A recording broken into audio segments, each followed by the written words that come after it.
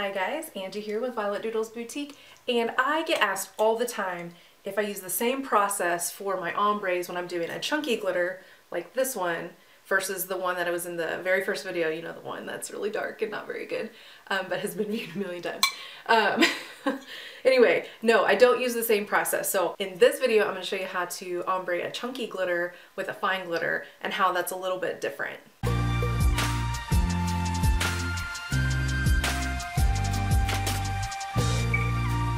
Sure to like and subscribe to the channel and ring the bell to be notified.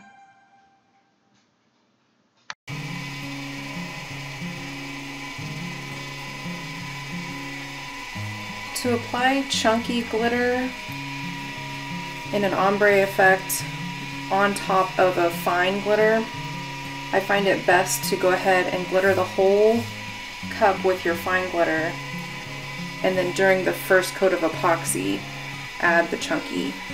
And I do a thinner coat than I normally do for this first coat because I don't want my chunky glitter to move very much after I apply it.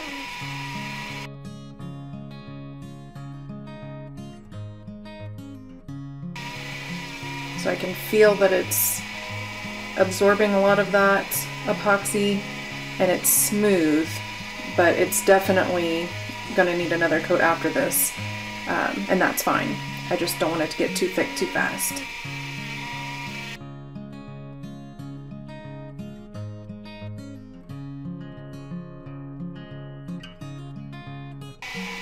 Okay, I went ahead and finished epoxying both of these a thin coat off camera. Um, these are both getting the same chunky neon dot mix here. To save all my extra that falls off, I did go ahead and put a couple of stacks of paper underneath. If you have um, a chunky mix, you want to make, make sure that you shake it up a little bit because your fine glitters will settle to the bottom. And then I just get a good um, amount and lightly start sprinkling them on.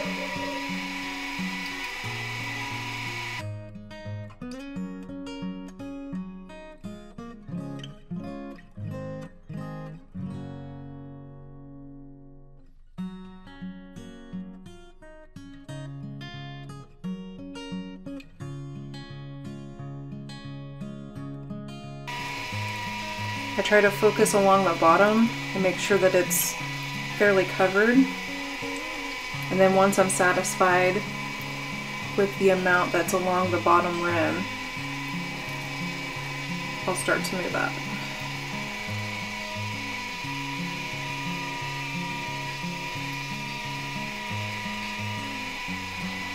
When I start to fade up, I go a little higher and sprinkle less, that way it will kind of blend in.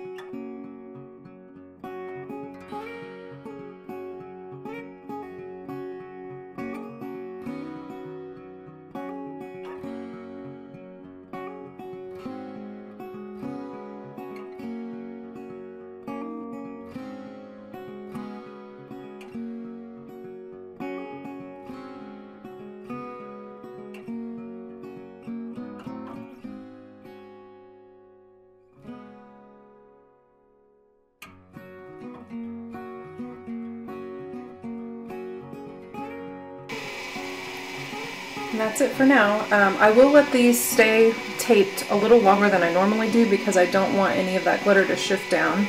So I'll probably let them spin for about 40 minutes and then I'll take it off and clean it up. And then I'll show you what to do next. So you can see I just retaped my stainless that way none of that gets covered with my spray paint. I'm just going to coat it with a clear gloss this is what I'll be using today, Rust-Oleum 2K gloss.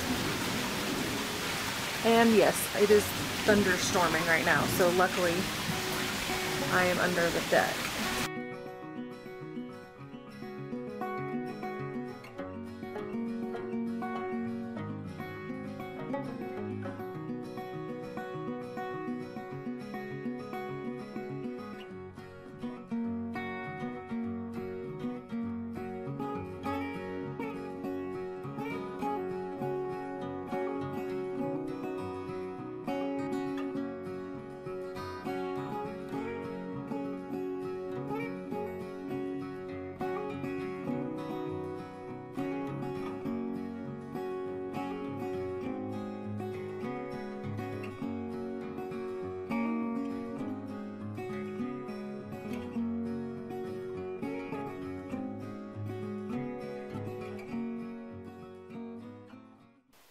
Hi guys, I hope that was helpful. It was really fun making this video for you, even with the rain and all of that.